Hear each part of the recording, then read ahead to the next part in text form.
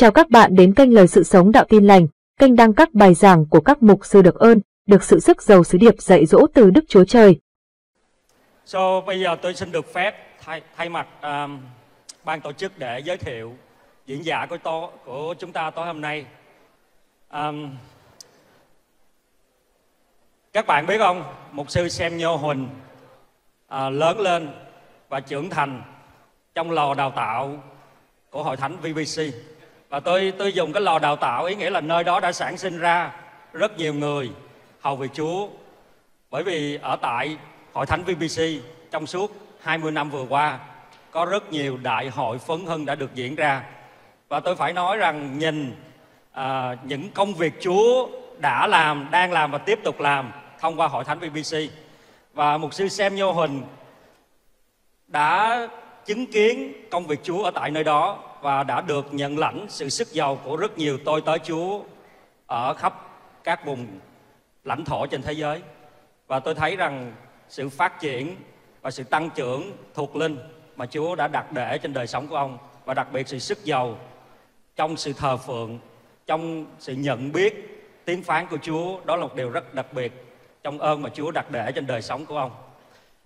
À, tôi thấy rằng trong suốt 9 tháng vừa qua, có một cái điều rất là đặc biệt và tôi nghĩ rằng không bởi ơn của Chúa thì không ai có thể làm được hết.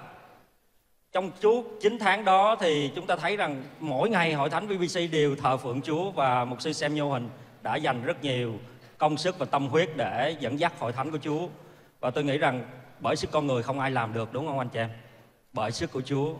Và hồi tối hôm nay, chúng ta chào đón một tôi tới Chúa trẻ tuổi nhưng mà rất là được ơn của Chúa và xin kính mời một sư Sam Nhô Huỳnh và một sư Huỳnh Quốc Khánh lên đây để chia sẻ lời Chúa cho chúng ta.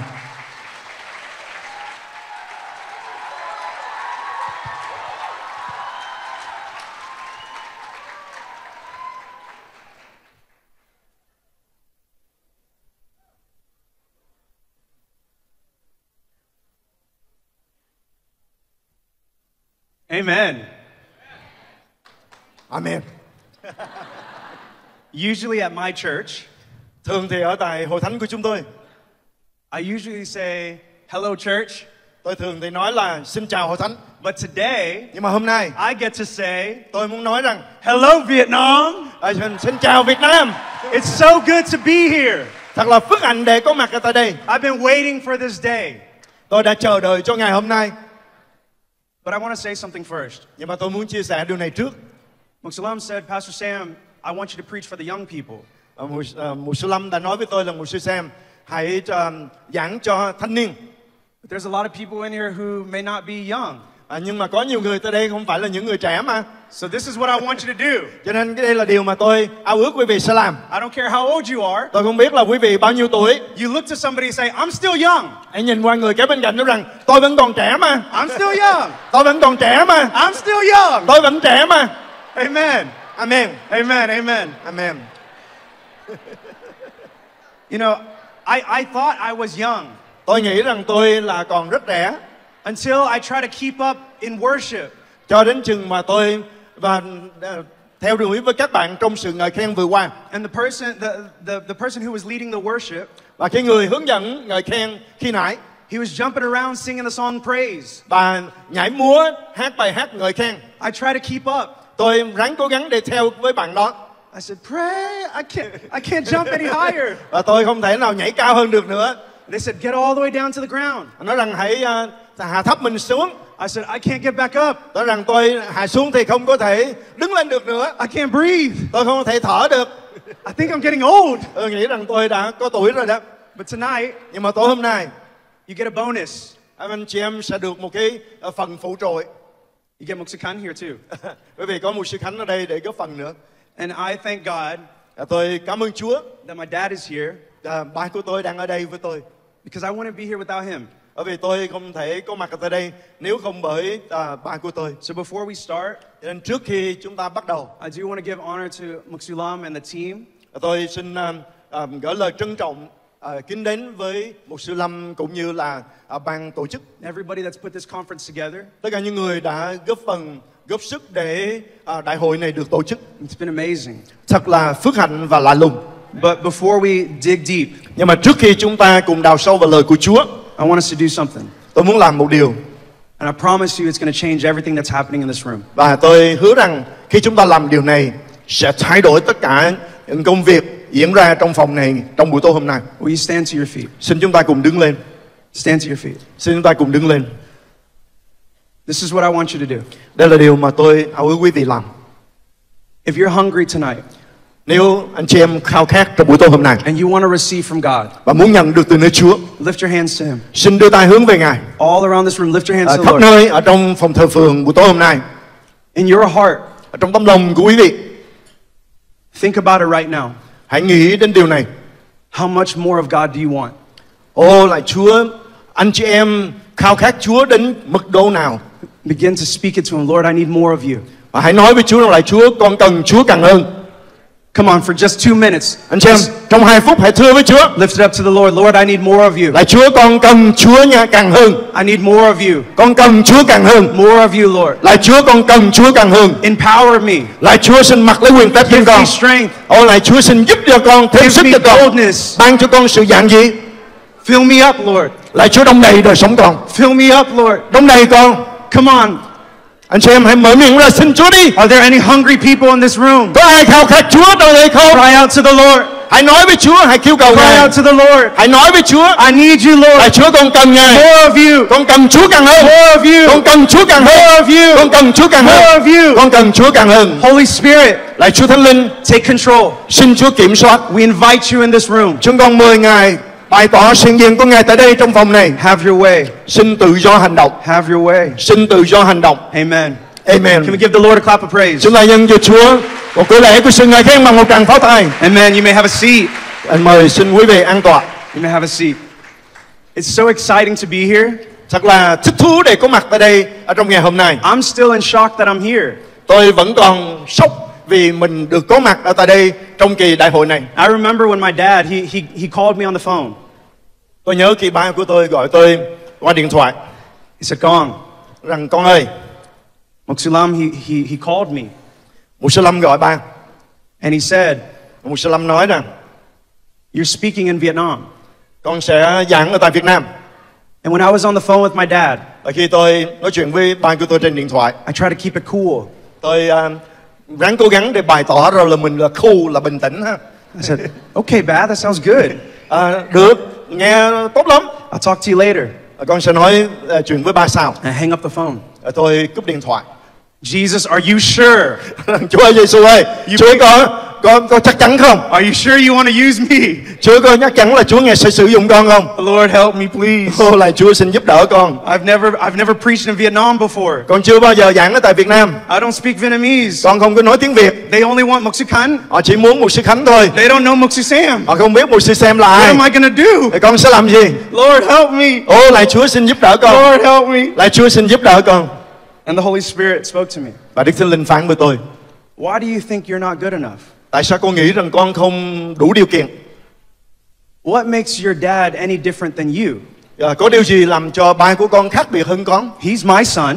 À, ba của con cũng là con trai của ta. You're my son. Con cũng là con trai của ta. Don't you think I love him just as much as I love you? Con không có biết rằng ta yêu thương ba của con cũng như là ta yêu thương con sao? Don't you think I can use you just like I use him? À, con cũng có nghĩ rằng ta sẽ sử dụng con như ta đã sử dụng cha của con. And I said, Lord, Tôi nói rằng là Chúa, I'm ready. con sẵn sàng. I'm ready. Bây giờ con sẵn sàng I'm rồi. ready. I'm Bây giờ ready. con sẵn sàng rồi. I know that the Lord has me on a special assignment. Tôi biết rằng Chúa Ngài đã cho tôi một cái trọng trách đặc biệt. Everybody has been hearing about what's happening at our church. Và quý vị có thể đã nghe những điều đang diễn ra tại hội thánh của chúng tôi. And for 10 months, Trong 10 tháng, we've been coming to church almost every day, chúng tôi đã đến nhà thờ hầu như là mỗi ngày trong tuần. worshiping, Thờ phượng, praying, ngợi khen, reading His Word, đọc lời của Chúa, being in His presence. ở trong sự hiện diện của Chúa. 10 months. 10 tháng, That's a lot. đó là rất nhiều phải không? It first started out with 21 days. Ban đầu thì chúng tôi định bắt đầu là 21 ngày kiên ăn cầu nguyện. And I heard from the Holy Spirit, Và tôi nghe từ Đức Thánh Linh phán, Sam, xem, will you come to church for 21 days? con có sẵn lòng để đến nhà thờ trong 21 ngày này không? I said, sure. Nói rằng lại Chúa chắc chắn rồi. But can you tell everybody else to come to church for 21 days? Con có thể kêu gọi để những người khác trong hội thánh cũng sẽ đến nhà thờ trong 21 ngày. I said, Lord, nobody's going to come to church 21 days. Tôi nói rằng à, Chúa ơi, chắc là không có nhiều người đến ở trong 21 ngày à, liên tục như vậy. He said, things have to change. À, Chúa nghe nói với tôi rằng việc phải thay đổi trong hội thánh. I said, okay, Lord, rằng lại Chúa, are you sure? Chúa có chắc chắn không? And I told my dad, I said, Dad, I, I think the Holy Spirit's telling me that we need to come to church for 21 days. Thì à, tôi nói với ba của tôi rằng ba ơi, à, con nghĩ rằng Đức Thánh Linh vừa mới phán với con là chúng ta sẽ đến nhà thờ trong 21 ngày. And he looked at me. Thì ba tôi nhìn tôi, He said, okay, ba tôi nói rằng ổn, let's do this. chúng ta hãy làm, bắt tay vào làm việc. And I said, oh no, Thì tôi nói ở trong lòng rằng, ồ ồ, this is really happening. đây là thật sự đang chuẩn bị diễn ra. And every single day, Và anh chị em mỗi ngày God showed up in an amazing way. Chúa Ngài đã bày tỏ sự hiện diện của Ngài trong một cái cách hết sức là lạ lùng. And we went from 21 days Chúng tôi đi từ 21 ngày to two months cho đến 2 tháng, to three months, rồi 3 tháng, four rồi months, 4 tháng, 10 months. rồi 10 tháng đã trải qua. And there's a hunger that we have to have. Anh chị em, đây là cái sự khao khát mà chúng ta cần phải có. And I know that my assignment here, yes, it's for the young people, Tôi biết rằng cái trách nhiệm của tôi để chia sẻ cho những người trẻ. But God's taught me something Nhưng mà Chúa Ngài đã dạy tôi một điều. that there's a bridge between the young and the old. Đó là có một cái chiếc cầu giữa thế hệ của những người trẻ và những người lớn tuổi. A little bit, just a little old. Lớn tuổi chút xíu, già, già chút thôi. But sometimes at church, Nhưng mà chị em đôi lúc ở trong hội thánh we always say the young people and the old people. người trẻ rồi những người lớn And we always create a distance between each other. và chúng ta đã tạo một cái khoảng cách giữa hai thế hệ. Oh, you're too little, go on, go play. Ờ, con còn nhỏ quá, đi đi ra ngoài chơi đi. Oh, you don't know what we're talking about. Ờ, các con không hiểu những điều người lớn nói đâu. Tôi đi ra ngoài chơi đi. Or the young people, Hay là những người trẻ, we're only good for one thing ờ, chúng tôi là chỉ có ờ, gọi là giỏi trong một công việc thôi. setting up tables and chairs. Đó là ờ, xếp bàn, xếp ghế. That's it. Đó là công việc mà nhiều khi chúng ta đã nhìn những người trẻ. And I'm a pastor's kid, Tôi là con của mục sư so I did that all my life. và suốt cuộc đời của tôi xếp bàn xếp ghế cho nhà thờ là tôi đã làm suốt cuộc đời của mình rồi. Every Sunday. Mỗi ngày chủ nhật. But there had to be more. Nhưng anh chị em phải có nhiều hơn cho những người trẻ. How could David at a young age say yes to slaying Goliath? Làm sao để một người trẻ David có thể tiến lên và đánh chết tên khổng lồ? He wasn't old, David không phải là người lớn tuổi trong lúc đó. but what did it take? Nhưng mà điều gì cần thiết để David có thể làm được điều It đó? doesn't matter about being young or old. Cho nên vấn đề tại đây không phải là già hay trẻ. It matters about saying yes to God. Nhưng mà đó là chúng ta thưa vâng với Đức Chúa Trời. Chúng ta đáp lại với sự kêu gọi của Ngài. Amen. Anh chị em, Amen. The thing that the Lord has been teaching me Điều mà Chúa Ngài đang dạy dỗ tôi is that instead of a church being divided by age, Thay vì một hội thánh bị chia rẽ bởi tuổi tác and we be united in spirit. Nhưng mà chúng tôi đã hiệp một trong Thánh Linh For 10 months, Trong 10 tháng we've preached together à, Tôi và ba của tôi chúng tôi chia sẻ và rao giảng lời của Chúa Cùng nhau làm công việc này every day. Mỗi ngày You would say, Quý vị có thể nói well, he's your dad. "Ừ, Tại vì Mục sư Khánh là ba của Mục sư Xem mà But some of you young people, Nhưng mà đúng một số các bạn trẻ tại đây you probably talk to your parents maybe 10 minutes a day. Có thể là các bạn nói chuyện với cha mẹ của mình chừng 10 phút Tổng cộng 10 phút một ngày Usually, Thường thì Gong, how was school? à, Con à, hôm nay tại trường có gì lạ không? It was good. À, ta trả lời với cha mẹ rằng mọi việc đều tốt Bye, I'll talk to you later. à, Chào ba mẹ, sẽ nói chuyện với ba mẹ sau Gong, I made food for you.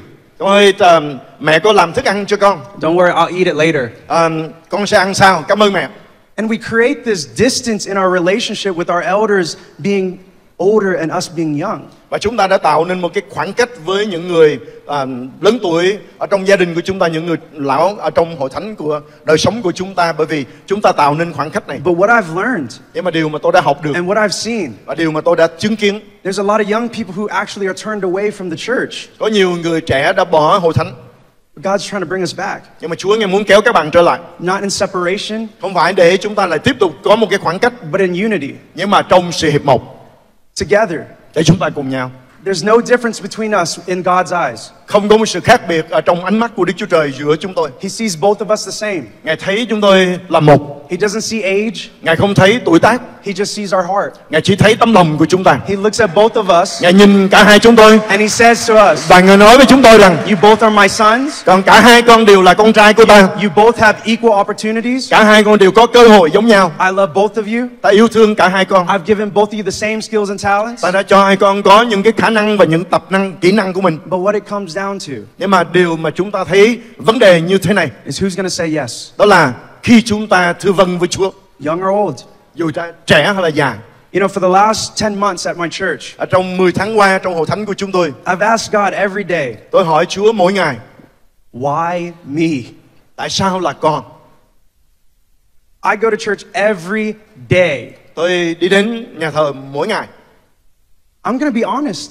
Và tôi muốn thành thật của quý vị tại đây. I know I'm a pastor, Tôi biết tôi là một mục sư, but that's a lot of church. nhưng mà mỗi ngày thì là nhiều sinh hoạt của hội thánh quá, It's a lot. nhiều quá. But something that I've learned, Nhưng mà có điều mà tôi đã học được. I've seen the hunger that I have for the Lord grow more and more every day. Thì tôi khám phá ra rằng mỗi ngày thì cái sự khao khát của tôi về Chúa được gia tăng mỗi ngày càng hơn ở trong ơn của Ngài. And it wasn't about going to church every day, but it was more about spending time in His presence every day. Không phải là chúng ta đi nhà thờ mỗi ngày, nhưng mà vấn đề lẽ thật ở tại đây đó là bởi vì chúng ta dành nhiều thời giờ để được ở trong sự hiện diện của Chúa And, mỗi ngày. and as I spend time in His presence every day, Và khi tôi dành thời giờ ở trong sự hiện diện của Chúa mỗi ngày, He's taught me so much. Ngài đã dạy dỗ tôi rất là nhiều điều. I tell my dad all the time, Tôi nói với ba của tôi, thường xuyên nói với ba của tôi, I said, "Dad, something happened to me. ba ơi có cái gì đó rất là đặc biệt xảy ra cho con. I feel like God put me in a time chamber, and now I came out, and I'm a lot older. Là dường như là Chúa nghe bỏ con ở trong cái phòng của thời gian đó. Và bây giờ con bước ra thì thấy mình lớn tuổi hơn. I don't know why, Tôi không hiểu tại sao. but now all of a sudden I understand so much more. Nhưng mà bây giờ thì thình lình tôi lại hiểu được nhiều vấn đề một cách sâu nhiệm hơn. I have more confidence. Tôi có sự tự tin hơn. I have more boldness. Tôi có sự dạn dĩ hơn. No fear. Không còn có sợ hãi. And all I did Và tất cả những điều tôi làm was spend time in His presence every đó là day. dành thời giờ ở trong sự hiện diện của Chúa mỗi ngày. That's the key. Anh chị em đó là chìa khóa. Spending time in His presence. Chúng ta dành thời giờ để ở trong sự hiện diện của Chúa. As I spend time in His presence, Khi chúng ta dành thời giờ ở trong sự hiện diện của the Chúa Holy Spirit has been speaking to me. thì Đức Thánh Linh Ngài đang đã và đang à, dạy dỗ tôi và phán với tôi. And this is what the Holy Spirit has taught me. Và đây là điều mà Đức Thánh Linh dạy tôi For many years, cho nhiều năm. I always did this. Tôi đã từng làm như thế này. I always put myself below my dad. Tôi thường đó là đặt chính mình thấp hơn ba của mình. I always said, Và tôi thường tự nói I'm never going to be like him. tôi sẽ không bao giờ được giống như ba của tôi. I may be a little more handsome Có thể là tôi đẹp trai hơn ba của tôi because I got it from my mom, bởi vì có lai với mẹ một chút. but I'll never be like him Nhưng mà sẽ không bao giờ giống như cha của mình, được giống như cha của mình. because I look at my dad. Bởi vì khi tôi nhìn ba của tôi, How do you do that? ôi ba làm sao ba có thể làm được những công việc đó? How do you travel around the world and preach and, and continue to do the, the ministry for the Lord? Đi nhiều nơi trên thế giới rao giảng lời của Chúa trong các công việc và hầu việc Chúa. I used to tell my dad this. Tôi thường là tôi nói với ba tôi, đã từng nói với ba của tôi. I said, Dad, you go to Vietnam, I'll stay home and take care of the church. Đó là ba đi Việt Nam giảng đi còn con ở nhà chăm sóc hội thánh được rồi. I said, I know I'm Vietnamese, but I'm more American. Con biết con là người gốc Việt Nam nhưng mà con bây giờ là đã lai Mỹ nhiều rồi. I don't know what I'm going to do in Vietnam. Con không biết là về Việt Nam con làm được cái gì. Everybody knows you, Ai cũng biết ba. and that's okay. Thì cái chuyện đó ổn không sao đối với con. I'll leave that for you. Con sẽ để cái công việc đó để ba làm. But then God changed my heart. Nhưng mà rồi Chúa thay đổi tấm lòng của tôi. He says, Why do you keep counting yourself out? Chúa nói rằng tại sao con loại chính mình ra khỏi công việc? Why do you keep thinking that your dad can do everything and you can do nothing? Tại sao con nghĩ rằng ba của con thì làm được tất cả mọi việc còn con thì không làm được việc gì? And who told you that? Ai nói với con điều đó? I don't know, Lord. Chúa ơi, con cũng không biết nữa. I feel disqualified. Con cảm nhận như là mình không đủ điều kiện. I don't understand. Con không hiểu. I don't know why I feel like this. Tôi không biết lý do tại sao tôi có cái cảm nhận như vậy. And the Lord began to do a breakthrough in my heart. Và Chúa nghe bắt đầu làm một sự bứt phá trong tấm lòng của tôi. I used to count myself out. Tôi thường là để kể mình loại mình ra khỏi công việc. I'm not good enough to speak. Tôi không có hội đủ điều kiện để ờ, rao giảng lời của Chúa. I, I don't know if I can pray for people for healing. Ông không biết là mình có cái khả năng để có thể cầu nguyện và người ta được lành. I, I don't I don't know if I can I don't know if I can preach outside of the church. Ông không biết là mình có thể rao giảng lời của Chúa ở bên ngoài các ờ, bốn vết tường của nhà thờ. I'm not sure. Không có chắc chắn lắm. And the Lord revealed to me, Nhưng mà rồi Chúa bày tỏ với tôi. there's something wrong inside of you. Có cái gì đó sai trật ở trong tấm lòng của con rồi đó. You're missing something. Con thiếu vắng một cái điều gì đó. What is it? Ờ, Chúa ơi, con thiếu cái gì? You're missing the relationship with my spirit. Đó là con đã đánh mất cái mối liên hệ của con với thánh linh của ta. You keep looking at your dad, Con cứ nhìn cha của con. but he's not looking at you. Nhưng mà cha của con thì không có nhìn con. He's looking at me. Nhưng mà cha của con đã nhìn ta. Stop looking at him Cho nên chấm dứt đừng có nhìn cha của mình theo dõi cha mình nữa. and look at me Nhưng mà hãy hướng mắt của con để nhìn ta. and follow my spirit. Và hãy bước theo thánh linh của ta. And I'll lead you the same places he can go. Thì ta sẽ dẫn dắt con đi đến cùng một chỗ mà cha của con And đi. you could do the same things that he can do. Và con sẽ làm được những công việc mà cha của con đã làm. And this breakthrough the Lord brought into my heart Và anh chị em khi sự bứt phá này Chúa mang lại trong tấm lòng của tôi is for all of us in the room. cho tất cả chúng ta có mặt ở tại đây. The assignment that the Lord has for me to come to Vietnam, Thì cái trọng trách mà Chúa ngài giao cho tôi khi tôi đến Việt Nam lần này it's so specific. thì nó rất là chi tiết và chính xác. Remember, I told you I never thought I was coming to Vietnam to preach. Như tôi đã chia sẻ với anh chị em khi nãy, tôi không bao giờ nghĩ rằng mình sẽ đến Việt Nam để rao giảng lời của Chúa để giảng. And, and, and my dad told me, Nhưng mà ba của tôi nói với tôi, he said, Sam, I need to tell you something. con, tôi muốn nói với con điều này xem. He said, Mukshalam told me là một sư lâm và các anh em đã báo cho ba biết. that you're speaking on one of the biggest nights at the conference. Đó là con sẽ giảng trong một trong những buổi đông người nhất của đại hội. Because a lot of young people are going to show up. Vậy thì có rất là nhiều những người trẻ sẽ có mặt trong tối đêm đó. I said, Are you sure? Bà có chắc chắn điều này không? You mean he wants you to speak, right? Not me. Một sư lâm mời ba chứ không phải con mà phải không? He said, No, no, you.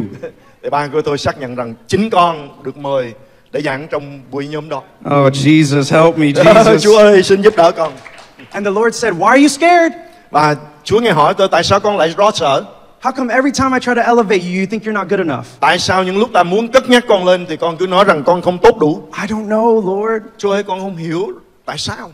And during the 10 months, Và trong 10 tháng này, as I spent more time with Him, khi tôi càng dành thời giờ với Chúa it built my confidence. thì đã xây dựng cái sự tự tin ở trong tôi. My fears began to go away. Sự sợ hãi bắt đầu đi ra khỏi My tôi. worries began to go away. Những cái lo lắng của tôi bắt đầu bị đẩy đi. The Lord began to download things in my heart. Và Chúa Ngài bắt đầu tuôn đổ à, ý của Ngài và kế hoạch của Ngài trong tấm lòng của tôi. I went from being scared to being ready. Tôi từ cái chỗ lo sợ đến cái chỗ sẵn sàng. I went from being worried to being prepared. Từ, từ cái chỗ lo lắng trở nên đã chuẩn bị. I I went from having fear to having excitement. Từ cái chỗ là sợ trở nên phấn khích cho công việc. This is what I learned. Đây là điều mà tôi học được. And I hope everybody can hear Và this. tôi hy vọng tất cả mọi người nghe điều này. It might be hard to listen. Có thể rất là khó để chúng ta nghe những lời này. It's not about you.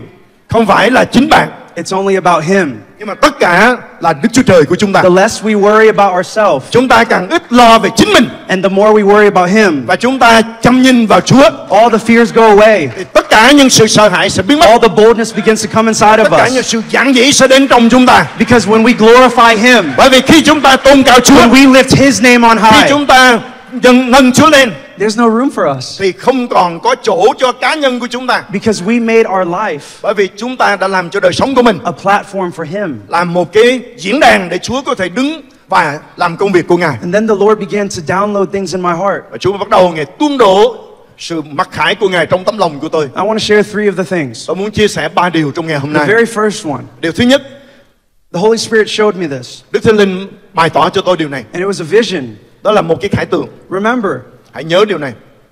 I didn't want to go to Vietnam. Ban đầu tôi không muốn đi Việt Nam. It was all for my dad. Nhưng mà tất cả là tôi nghĩ rằng công việc này dành cho ba của tôi mà thôi. But the Holy Spirit began to change my heart. Mà Đức Thánh Linh bắt đầu thay đổi tấm lòng của And I tôi. began to say, Lord, use me any way you want. Tôi bắt đầu thưa với Chúa rằng là Chúa xin tùy nghi sử dụng con theo ý của Ngài. I got out of the way, Con sẽ bước ra khỏi cái vị trí à, trọng tâm. and God began to lead me. Lại Chúa xin dẫn dắt con và Chúa Ngài đã bắt đầu dẫn dắt tôi. And He showed me this, uh, this amazing vision. Và Chúa Ngài đã cho tôi thấy một cái khải tượng tuyệt vời. He showed me, and I always wondered this. Và Chúa ngài cho tôi một cái khải tượng mà tôi luôn suy nghĩ về điều này. I said, Lord, why, why has Vietnam not experienced true revival yet? Là Chúa ơi tại sao Việt Nam chưa thật sự kinh nghiệm sự phục hưng? And what's happening? Chuyện gì đã xảy ra? And this is something the Lord showed me. Và đây là điều mà Chúa ngài đã bày tỏ cho tôi. I saw this, this dome over Vietnam. Là tôi thấy như có một cái vòm đã chạy đẩy lại ở trên nóc của Việt Nam. And the Lord was trying to pour out His Spirit, Và Chúa ngài muốn đổ thánh linh của ngài xuống. but there was a dome. Nhưng mà có một cái vòm đã che và chặn. And the Lord showed me a hammer, Và Chúa ngài cho tôi thấy một cái búa. and the hammer needed to break the dome Và cái búa này là để nhằm mục đích để đập vỡ cái vòm bao so trùm that đó. His revival could pour out on Vietnam. Để sự phục hưng có thể tuôn đổ ra trên Việt Nam. I began to ask the Lord, what does this mean? Và tôi bắt đầu hỏi Chúa rằng là Chúa điều này có nghĩa là gì? And why are you showing me, Lord? Tại sao Chúa bày tỏ cho con điều này? And this is what He said Và đây là điều Chúa nói. I want to pour out my Spirit all over Vietnam. Ta muốn tuôn đổ thánh linh của ta khắp nơi trên Việt Nam. I want Vietnam to experience revival. Ta muốn Việt Nam kinh nghiệm sự phục hưng. But will you be the hammer? Nhưng mà con có sẵn sàng để làm cái búa đó không? I said, Yes. Nói rằng lại Chúa, vâng. He said, So have no fear. Cho nên đừng sợ.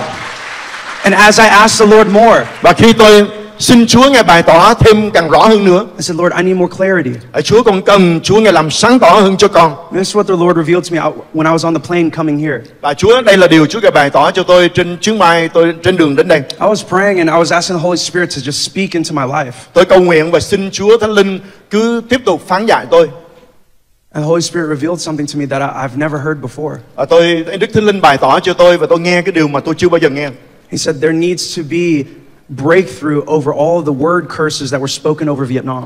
Đó là phải có một cái sự bẻ gãy tất cả những lời rủa xả ở trên đất nước Việt Nam. That Vietnam would no longer be bound by anything. Là Việt Nam không còn bị trói buộc bởi bất cứ điều gì. That my freedom would truly come to Đó Vietnam. là sự tự do của ta sẽ đến trên Việt Nam. And I said, Lord, Tôi hỏi Chúa lại Chúa how do we do this? làm sao để chúng con có thể thực hiện điều này. And as I was sitting in my, my chair, Và trong lúc tôi ngồi trên ghế ở trên máy bay, I began to ask the Lord, "Wh- where do I start? và tôi hỏi Chúa về Chúa con bắt đầu từ điểm nào? And as clear as I could hear, Và như là rõ ràng để tôi có thể nghe được. the Lord just put a name in my in my my mind. Và Chúa ngài đã bắt đầu có một cái tên được nói ra trong tâm trí của tôi. I don't speak Vietnamese, Tôi không có nói được tiếng Việt nhiều. But the Holy Spirit was speaking to me so clearly, and He spoke to me and said, "There's been a curse put over Vietnam," and He gave me a name. Và Chúa ngài đã bày tỏ cho tôi và trong một cái cái cách một cách rất là rõ ràng và Chúa nói rằng Việt Nam đã bị có một cái lời rủa xả được đưa đến từ cái nhân vật này rồi Chúa ngài cho tôi cái tên đó. I have no clue if this means anything, Tôi không biết là điều này có ý nghĩa gì cho ai tại đây hay không. but it was so clear to me, Nhưng mà đối với tôi cái giây phút đó thì rất là rõ ràng. and the Lord was being so specific. Và Chúa ngài rất là chi tiết. And He said, "There's a, a- there's a, a, a witch or a witch doctor named An Meng that you have to break the spirit of." Đó là có một cái người phù thủy à, đã có một cái lời rủa xả ở trên đất nước Việt Nam này và tên của người này Chúa ngài phán với tôi đó là tên là danh xưng của nó là anh Mẫn. I said, "Who's that?" Tôi hỏi gì chứ anh Mẫn là ai? The Holy Spirit said, Don't worry, just break it. Và Chúa Thánh Linh ngài nói với tôi rằng con đừng có quan tâm, hãy công bố bẻ gãy cái lời rủa xả mà cái nhân vật anh Mẫn này đã công bố trên đất nước Việt Nam. And this is what the Lord began to reveal to me. Và rồi Chúa ngài bày tỏ ra cho tôi He said, There are spiritual things that are about to break in Vietnam so that my revival can pour out onto đó Vietnam. là sẽ có những việc thuộc linh được bứt phá để rồi sự phục hưng của ta có thể đến trên Việt Nam. And I said, Lord, nói rằng lại Chúa, I'll be your hammer. con sẽ sẵn sàng để làm cái búa. Let's break the dome. À, Chúa chúng ta- chúng ta sẽ cùng nhau đập bể cái vòm này. So I'm going to be obedient to the Lord. Nên tôi sẽ vâng lời Chúa trong thời giờ này And right now, và ngay giờ này we're going to pray. và chúng ta sẽ cầu nguyện.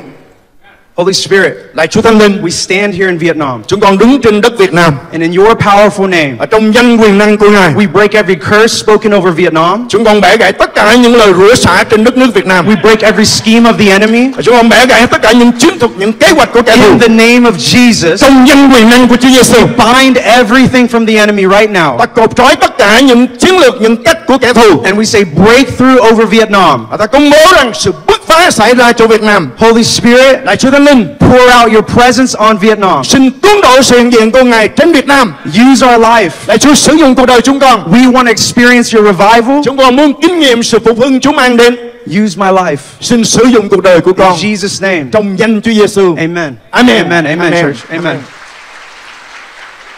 I've got a very short message for you today. Tôi có một cái sứ điệp ngắn cho quý bà anh chị em các bạn ngày hôm nay. For the young people, Với những người trẻ, for the old people, cho những người lớn tuổi, I want you to do something. tôi muốn kêu gọi quý vị làm một số điều. Take your hand. Xin đưa tay của mình. See, you thought I was going to ask you to pray. Chắc anh chị em nghĩ rằng tôi bảo anh chị em cầu nguyện. You're not going to pray. Anh chị em sẽ không cầu nguyện lúc này. You're going to say, Wake up to the person next to you. Nói với người kế bên cạnh của mình lắc vai vào họ nói rằng thức dậy, It's okay. Wake up. thức dậy, Wake up. thức dậy, Wake up. thức dậy. All right. Amen. The message I have for you today, Sứ điệp của tôi cho quý vị ngày hôm nay. the title is this Cái ờ, đề tài của nó là is God is enough. Chúa có phải là sự đầy đủ cho bạn không? God is enough. Chúa là sự đầy đủ In every situation in your life, trong mọi hoàn cảnh trong đời sống của bạn. God is enough. Chúa là đầy đủ In every season of your life, trong mọi mùa của đời sống của bạn. God is enough. Chúa là đầy đủ cho chúng In ta every situation you're going through, trong mọi hoàn cảnh chúng ta trải qua. God is enough. Chúa là đầy đủ cho chúng ta. We can realize Khi chúng ta nhận biết điều này and understand và hiểu được that God is enough. đó là Chúa là tất cả những gì chúng ta cần. You'll rely on nothing else but Him. Anh chị em sẽ không còn nương tựa vào bất cứ một điều gì trừ ra Even if you're Chúa. young, Bởi vì Chúa ngài làm việc even if you're young, luôn cả bạn đang còn trẻ. even if you're old, Bởi vì có phải là người lớn tuổi, God is enough. Chúa là đầy đủ cho chúng ta. Tell somebody next to you, God is enough. Xin lắc tay một người kế bên cạnh và nói rằng Chúa là tất cả sự đầy đủ của chúng ta. God is enough. Chúa là đầy đủ. God is enough. Chúa là đủ rồi. God is enough. Chúa là đủ rồi. Amen. Amen. Amen. Amen. Today I want us to look in Ephesians. Hôm nay tôi mời quý vị chúng ta cùng xem trong Ephesos. And I only have a few verses I want us to look at. Tôi có một vài câu và mời chúng ta cùng suy nghĩ. In Ephesians chapter 1, I want to start in verse 3. Ở trong Ephesos chương 1 và chúng ta bắt đầu câu số 3. I love this scripture Tôi rất là yêu thích phần kinh thánh này. because for us to understand that God is enough, Khi chúng ta hiểu được Chúa của chúng ta là đầy đủ cho chúng ta. it takes us to understand that He's provided all things for us. Tại vì chúng ta hiểu rồi thì chúng ta biết rằng Ngài là đứng chu cấp cho chúng ta tất cả những gì chúng ta cần. Ephesians chapter 1, verse 3. Ephesos chương 1 câu số 3. It says, All praise to God, Chúc tụng Đức Chúa Trời. the Father our Lord Jesus Christ, Cha của Chúa chúng ta là Đức Chúa Giêsu Christ. who has blessed us with every spiritual blessing in the heavenly realms because we are united with Christ. đã đấng đã ban cho chúng ta trong đấng Christ mọi phước hạnh thuộc linh ở các nơi trên trời. And even before He made the world, ngay cả khi trước khi sáng thế, God loved us and chose us in Christ to be holy and without fault in His eyes. Đức Chúa Trời đã chọn chúng ta trong đấng Christ để chúng ta được thánh hóa ở trong Ngài. And God decided in advance Và Chúa Ngài đã định trước to adopt us into His own family và đón nhận chúng ta làm con nuôi trong nhà của Ngài by bringing us to Himself through Jesus Christ. bằng cách kéo chúng ta đến với chính Ngài trong Đức Chúa Giêsu Christ. And this is what He wanted to do, Đây là điều mà Chúa Ngài muốn làm. and it gave Him great pleasure. Đó là Ngài đã làm mọi việc phước hạnh để trong tình yêu thương của Ngài. The first point that I have for you all Anh chị em điều đầu tiên mà tôi muốn chia sẻ với anh chị em He's provided everything that we need. Ngài là đấng chu cấp và chuẩn bị cho chúng ta tất cả những gì chúng ta cần. Many times in our life, Nhiều lần lúc trong đời sống của chúng ta, maybe you're young, có thể là bạn còn trẻ, and maybe you're at school, có thể quý vị à, các bạn đang đi học and you want to share the gospel to one of your friends, và bạn muốn chia sẻ tin lành của Chúa cho một trong những bạn học của mình. but you think to yourself, Nhưng bạn lại tự nghĩ, I don't know what to do. Tôi không biết là bắt đầu như thế nào. I don't know what scripture to tell them. Tôi không biết là sẽ chia sẻ với họ phần kinh thánh nào. I, I, just, I'm just a new believer. Ừm, tôi chỉ là người mới tin Chúa mà. I, I don't know what to say. Tôi không biết phải nói gì. And maybe sometimes you, you see somebody walking past you that you know needs healing. Và có thể rằng à, có một người đi qua bạn qua, qua trước mặt bạn và bạn thấy cái người đó và biết rằng họ cần được sự chữa lành. But you say to yourself, there's no way I can pray for them. Và bạn nói với chính mình rằng không có cách nào tôi có thể cầu nguyện cho người này được. I'll bring them to church on Sunday, À, Chúa Nhật sẽ mang cái người bạn này đến nhà thờ and Muksulam can pray for them, not và me. một sư dân thành lâm sẽ cầu nguyện cho cái người này chứ không phải tôi. And we, we automatically think that we can't do anything for Christ. Và chúng ta như là bà, tự nhiên nghĩ rằng mình không thể làm điều gì được ở trong Chúa. We think that only certain people can do things for the Lord. Chúng ta nghĩ rằng chỉ có một vài người đặc biệt nào đó có thể làm những công việc đó cho Chúa. But, but let's look at scripture again. Nhưng mà chúng ta cùng trở lại với câu kinh thánh này In verse 3, ở trong câu số 3. it says, All praise to God, the Father of our Lord Jesus Christ, Chúc tụng Đức Chúa Trời, Cha của chúng ta là Đức Chúa Giêsu Christ. who has blessed, Ngài là đấng đã ban phước trên chúng ta. the next word is us. à, câu kế tiếp của chúng ta đó là chữ chúng ta It doesn't say who has blessed pastors. không có nói rằng Chúa ngài ban phước hạnh cho các mục sư It doesn't say who has blessed the older people. cũng không nói là ban phước cho những người lớn tuổi It doesn't say who has blessed the younger people. cũng không nói riêng là ban phước cho những người trẻ tuổi It says who has blessed all of us. nhưng mà ở đây nói rằng Chúa ngài ban phước cho tất cả chúng ta If we can understand this, nếu chúng ta hiểu được điều này that God has provided everything that we need, đó là Chúa ngài là đấng chu cấp tất cả những gì chúng ta cần if we can understand this truth, khi chúng ta hiểu được lẽ thật này Vietnam will see the Lord's revival. Việt Nam sẽ thấy sự phục hưng từ nơi Chúa I want to show you something in the room. tôi muốn chia sẻ với anh chị em một điều trong phòng này If you're a pastor, nếu quý vị là mục sư tại đây will you please stand up? xin mời quý mục sư có thể đứng lên All pastors in the room, please tất stand cả up. các mục sư có mặt ở trong phòng này Stand xin to your feet, quý pastors. mục sư xin đứng lên Pastors, are these all the pastors in the room? đây là các mục sư có mặt ở trong phòng thờ phượng này Okay. bây giờ Look at all the pastors who are standing. Xin ờ, chúng ta xoay nhìn tất cả các mục sư đang đứng lên. They can't do all the work. họ không thể làm tất cả những công việc cần làm tại Việt Nam này. As many people as Muksulam can talk to in one day, Ở tất cả có thể là cái tổng số người mà mù sư Lâm có thể nói trong một ngày Well, nói chuyện với họ trong một ngày. Will never equal the amount that all of us could do at one time. thì không thể nào bằng tất cả chúng ta đều nói với những người xung quanh cùng một lúc. Now, pastors, you may have a seat. xin mời quý mục sư an toàn Everyone else who is not a pastor, stand to your feet. xin tất cả những người không phải là mục sư có mặt tại đây xin đứng lên That's a lot of us. rất là nhiều người trong chúng ta phải không Come on, stand to your feet. anh chị em xin tiếp tục đứng Okay, bây giờ let's think about this. xin suy nghĩ như thế này If we can all understand nếu tất cả chúng ta đều hiểu that God has provided everything for every single person who is standing up right now, đó là Chúa là đấng chu cấp chuẩn bị cho tất cả mọi người đang đứng ở tại đây you can make a difference for the Lord. bạn có thể làm sự khác biệt cho Chúa You don't have to be a pastor. bạn không nhất thiết là phải là mục sư You just have to say yes to the Lord. chỉ cần là thưa vâng với Đức Chúa Trời The Lord is looking for multiplication. Chúa ngài đang chờ đợi để sẽ gia tăng theo cấp số nhân The amount of pastors that were standing earlier như khi nãy chúng ta thấy số mục sư có mặt tại đây đã đứng lên is not the same amount of all of us standing right here. thì không bằng chút nào với tổng số chúng ta là những người đang đứng Imagine this. sự hình dung điều này If every single person in this room Nếu tất cả mọi người ở trong phòng này tomorrow, ngày mai before you come to church, trước khi chúng ta đến nhà thờ tell one person about the Lord, nói với một người chia sẻ về Chúa cho một người imagine that. thử hình dung điều đó Imagine that.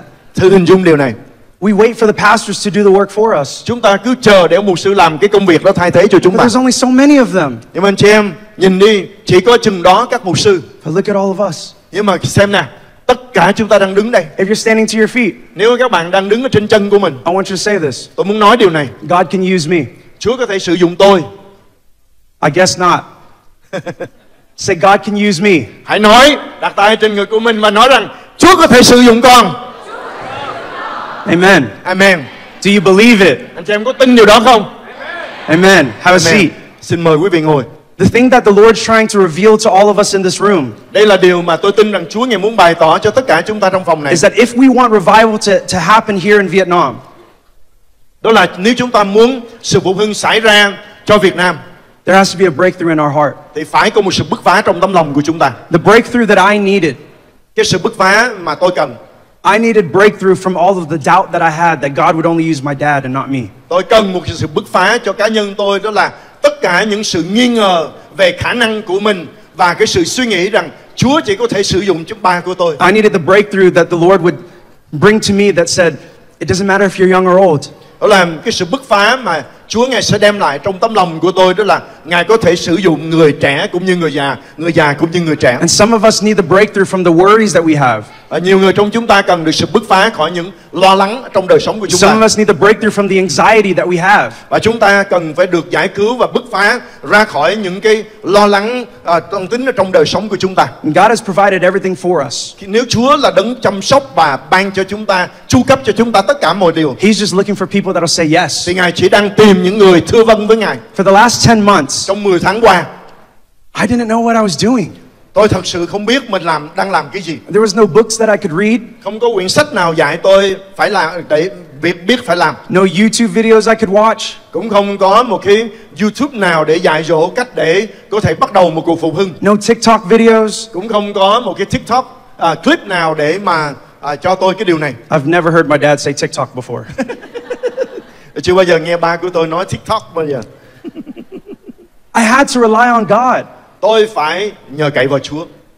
I asked the Lord, tôi cầu xin Chúa Are you sure you want me to do this and not him? lại Chúa Chúa muốn sử dụng con à chứ không phải ba con sao Are you sure?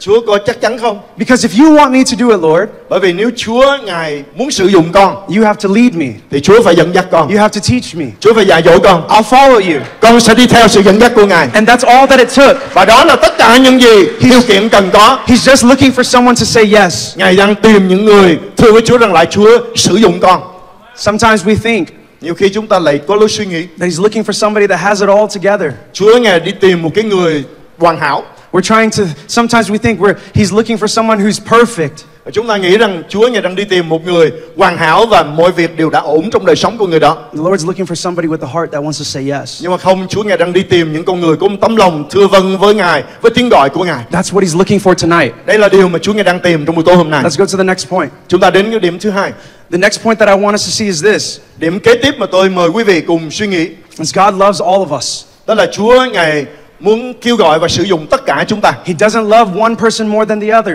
bởi vì ngài không phải yêu thương một người và ghét bỏ người khác. He sees all of us as equal, Chúa ngài nhìn chúng ta tất cả đều đồng đẳng. Young or old. già hay trẻ? Trẻ hay già? I think that the breakthrough that many of us need và tôi tin rằng cái sự bứt phá mà tất cả chúng ta đều cần is to understand no matter what situation you're going through in life, đó là một cái sự hiểu biết rằng dù chúng ta trải qua điều gì trong cuộc sống He chose you.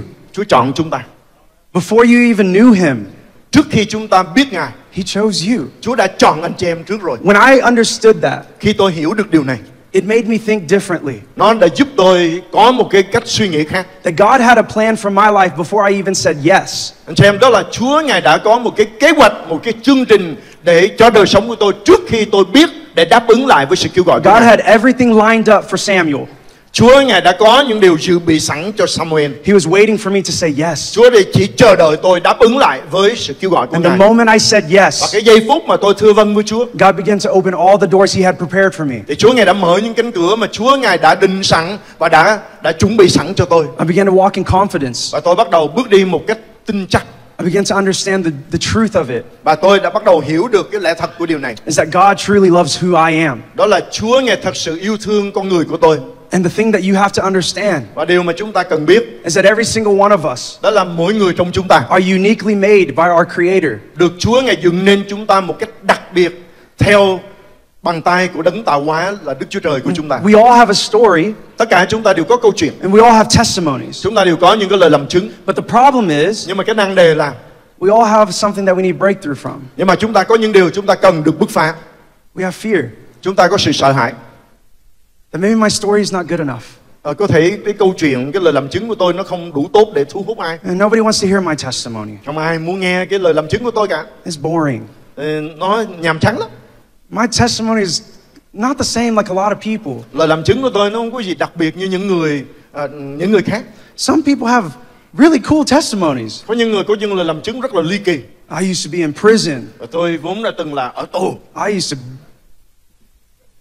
tôi vốn là cái người hành hung đánh đập người khác People were scared of me. người ta gặp tôi là khiếp đảm And then I came to know the Lord. rồi tôi gặp Chúa That's a really good testimony. lời làm chứng đó nghe thấy rất là ly kỳ phải không And my testimony is like, lời làm chứng của tôi well, I, I've been a pastor's kid all my life. ờ, tôi lớn lên trong gia đình là con của một sư suốt cả cuộc đời của tôi My dad's Mexican. à, ba của tôi là một sư khánh Everybody likes him. ai cũng à, biết và yêu thích một sư khánh I don't really know about me. không ai biết tôi hết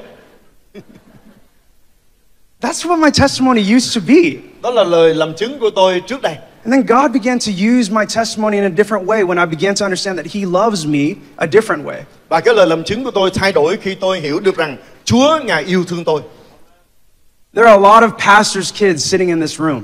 có nhiều con mục sư đang ngồi ở trong phòng thờ phượng này And many of, này many of you have said this. và nhiều người trong các bạn đã từng nói điều này I tôi will never, sẽ không bao giờ ever không bao giờ be a pastor. làm một mục sư We learned today chúng ta đã học ngày hôm nay don't say never. đừng bao giờ nói không bao giờ I said that. tôi đã từng nói điều đó I'll never be a pastor. tôi sẽ không bao giờ là mục sư hết Look where I am now. bây giờ nhìn coi bây giờ tôi là ai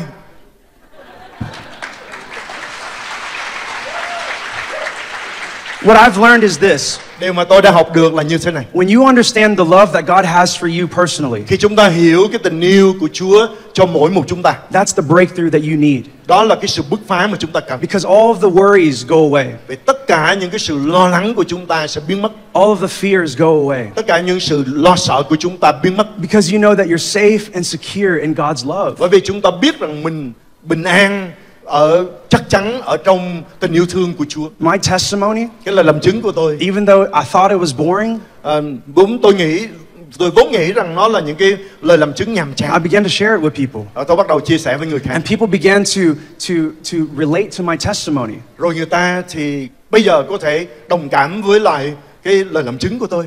Mostly pastors' kids. Nhất là con của các mục sư. And young people. những người trẻ. I used to say things like, I'm never going to be a pastor. tôi vốn là đã từng nói tôi sẽ không bao giờ làm mục sư I go to church all the time. tôi đi nhà thờ luôn luôn I don't even know if I truly love God or I just go to church because my dad makes me. à, tôi không biết là tại vì tôi yêu Chúa hay là tại vì ba tôi bắt tôi đi nhà thờ I don't want to deal with any of the church politics. à, tôi cũng muốn làm những cái công việc dự phần vào những việc chính trị ở trong hội thánh I don't want to know about any of that. à, tôi không muốn dự phần vào những điều đó I don't want to be on the worship team. tôi cũng không muốn ở trong ban thờ phượng I don't want to do any of that. tôi không muốn làm bất cứ những điều gì được That sounds like a lot of pastors' kids in the room. điều này có vẻ giống như tiếng nói của nhiều con mục sư có mặt tại đây phải không Just me. I think that something that the Lord began to do is as I began to share my testimony, the Lord began to reveal to me that other people were feeling the same thing as me. nhưng mà bây giờ khi tôi hiểu được cái lời làm chứng của tôi khi tôi chia sẻ điều đó thì tôi nhận biết rằng cũng có nhiều người cùng một cảnh ngộ với mình And there cùng một hoàn were, cảnh there were other people who needed the breakthrough that I received. có nhiều người cũng cần được sự bứt phá mà tôi đã nhận được. And as I began to share that testimony, và tôi bắt đầu chia sẻ cái lời làm chứng của mình. many young people would come to me. Thì nhiều người trẻ đã đến với tôi. And they would say this exact thing every time. và họ đã nói cùng một cái điều họ đã nói với tôi. Mỗi lần đến là có cùng một câu nói. Pastor Sam, một sư xem you're the first pastor that I thought was cool. một sư là một sư đầu tiên mà tôi thấy cool lắm. Pastor Sam, một sư xem you're the first pastor that I actually could talk to. là một sư là người một sư đầu tiên mà tôi có thể nói chuyện với.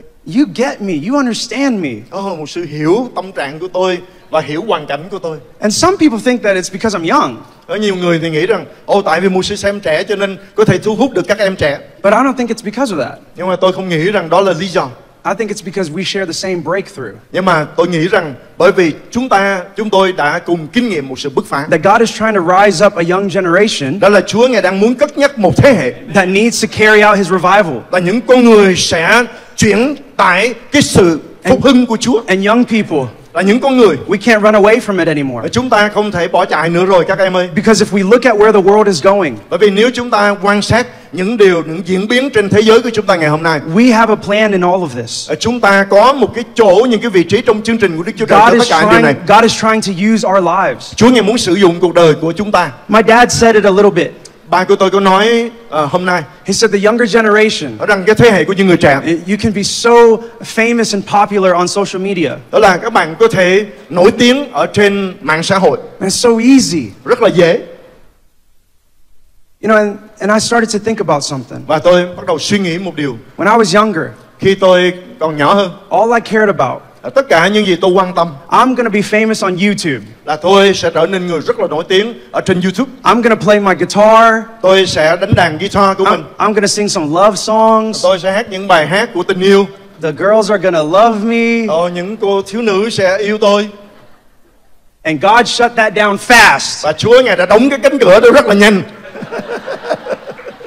And this is what I've learned và đây là điều mà tôi học được that as we try to do things for the world, khi chúng ta cố gắng để làm những công việc cho đời này it'll never be fulfilling like the things we can do for Christ. sẽ không bao giờ có một sự thỏa lòng so sánh với những điều chúng ta làm cho Chúa When you can understand một khi chúng ta hiểu được that He is enough, đó là ngài là tất cả những gì chúng ta cần nothing in this world measures up to God. không có gì có thể so sánh được với Chúa của chúng ta I've been so blessed. tôi rất là được phước I may not be famous on YouTube, tôi có thể không là nổi tiếng ở trên YouTube nữa but what does that matter?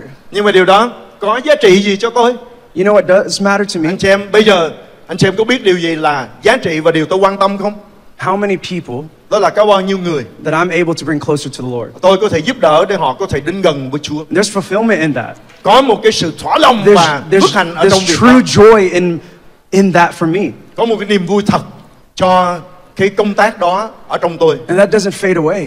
Điều đó nó lại không mờ đi cái niềm vui đó không phai mờ. And what God is looking for in this room Nhưng mà điều mà tôi tin rằng Chúa người đang tìm kiếm ở trong phòng này are there people who care about Him more than they care about the đó world. là những con người quan tâm về Chúa hơn là thế giới này. As I was in Vietnam the last few days, À, trong khi tôi có mặt ở tại đây tại Việt Nam trong mấy ngày qua, I, al- I, I've been asking people, tôi hỏi thăm người này người kia.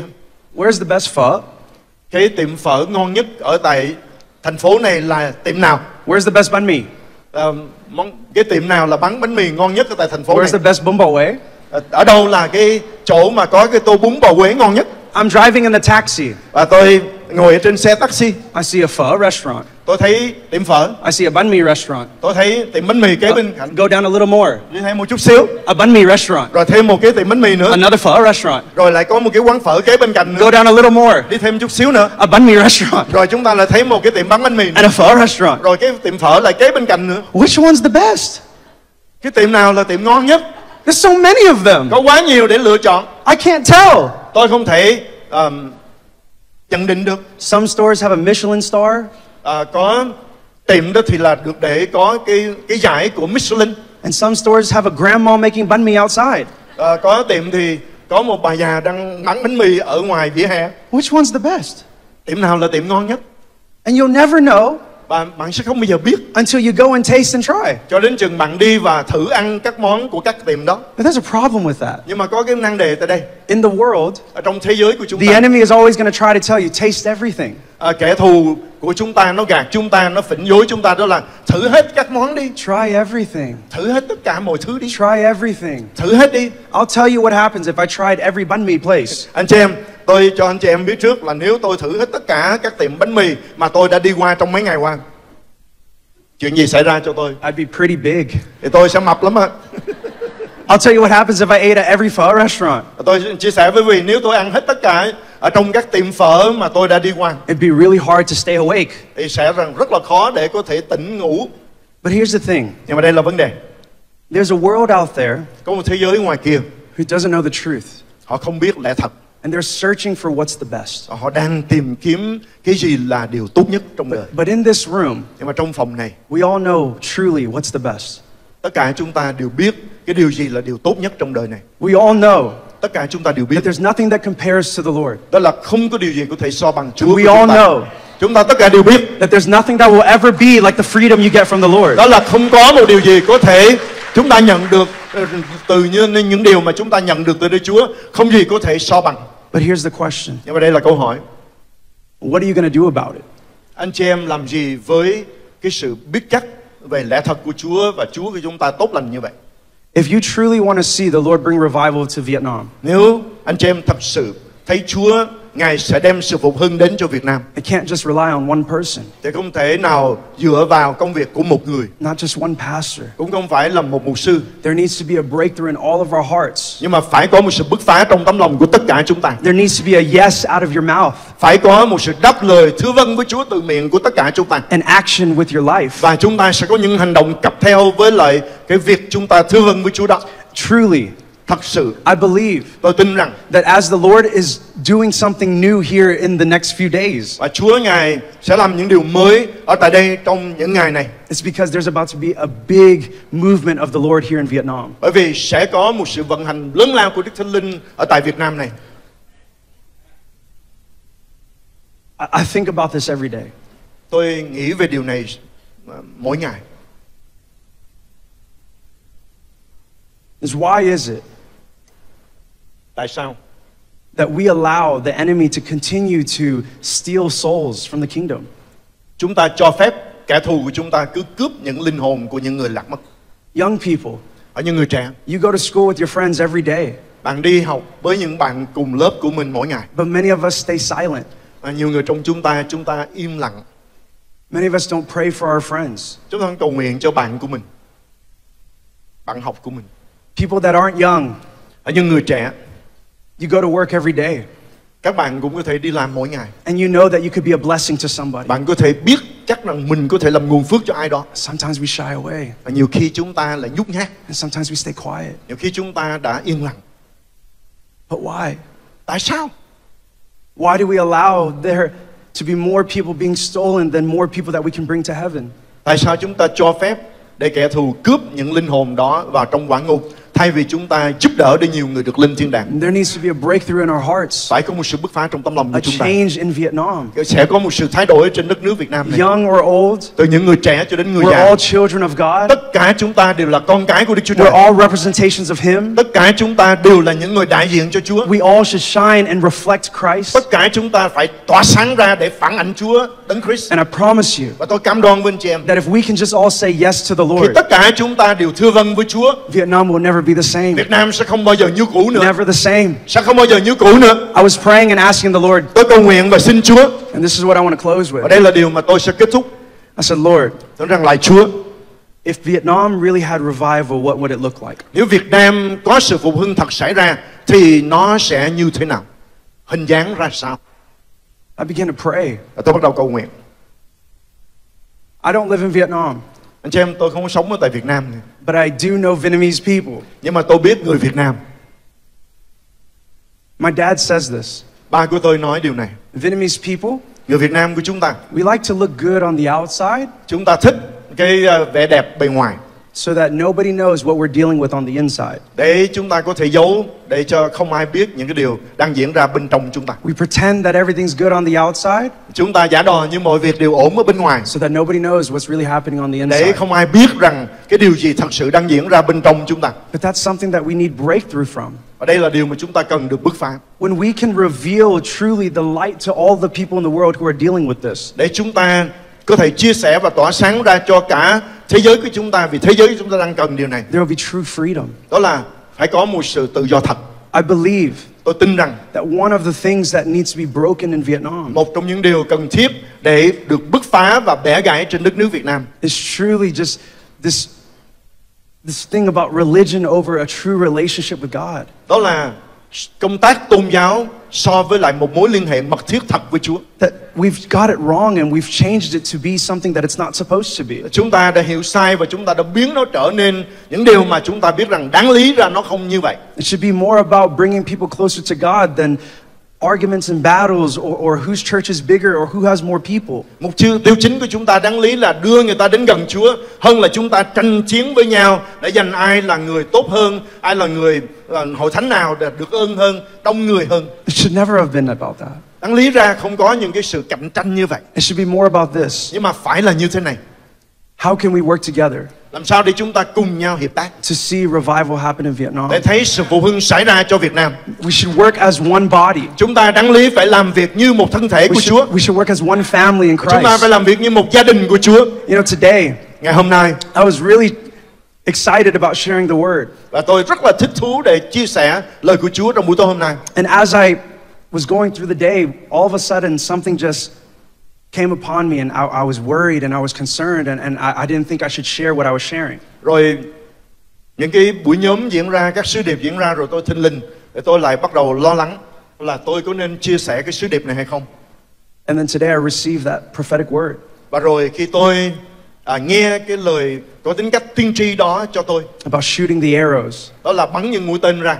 And I just stood there Và tôi đứng đó, and I said, Lord, that's exactly what I needed to hear. tôi rằng Chúa ơi con cảm ơn Ngài, đó chính xác là điều mà con cần nghe. And I wasn't going to shy away. Con sẽ không nhát đạn nữa, I wasn't going to allow the enemy to keep me quiet. con sẽ không cho phép kẻ thù bịt miệng con nữa. I was going to speak exactly what it is that he told me to Con sẽ speak. chia sẻ một cách chính xác điều Chúa muốn con chia sẻ. I was going to break exactly what it is the Lord told me to break. Con sẽ bứt phá và bẻ gãy cái điều gì đó mà Chúa bảo con phải bẻ gãy. The Lord showed me Thì Chúa Ngài đã bày tỏ cho tôi. what the altar call was going to look like two Đó. weeks ago.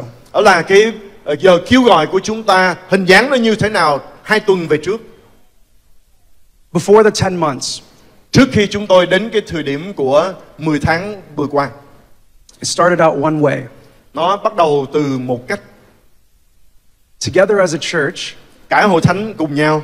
we humbled ourselves before the Lord. Và chúng tôi hạ mình xuống trước mặt Chúa. And we repented. Và chúng tôi đã ăn năn trước mặt Chúa. For grieving the Holy Spirit, đã làm buồn Đức Thánh Linh. For pushing the Holy Spirit out of the church. Và chúng tôi đã đẩy Đức Thánh Linh ra khỏi hội thánh. Because of religion, bởi vì công tác tôn giáo, denomination. bởi vì hệ phái It broke my heart.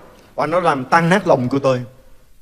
How could we steer so far away from God because of titles or because of being a pastor or because of past hurt or whatever? Tại sao chúng ta để cho chính mình bị trôi dạt xa đến như vậy? Chỉ vì công tác, vai trò mình là một mục sư, mình thuộc về hệ phái nào đó, những công việc của mình liên quan đến sinh hoạt hàng ngày. It's about Him, not us. Nhưng mà chúng tôi được kéo trở lại, tất cả là Chúa chứ không phải chúng tôi nữa. One of the things that the Holy Spirit revealed to me as I was flying to Vietnam Một trong những điều Đức Thánh Linh bày tỏ cho tôi khi tôi à, trên chuyến bay về Việt Nam is that we had to break that off of Vietnam. đó là chúng ta phải bẻ gãy điều này khỏi hội thánh của Chúa tại Việt Nam. That we wouldn't see revival unless we're able to break off this spirit of, of almost trying to compete with one another. Đó là chúng ta phải bẻ gãy một cái linh mà chúng ta thấy xuất hiện ở trong hội thánh của Chúa trong nhiều năm qua. Đó là chúng ta tranh chiến với nhau và chúng ta ganh đua với nhau. I'm not doing this for my glory.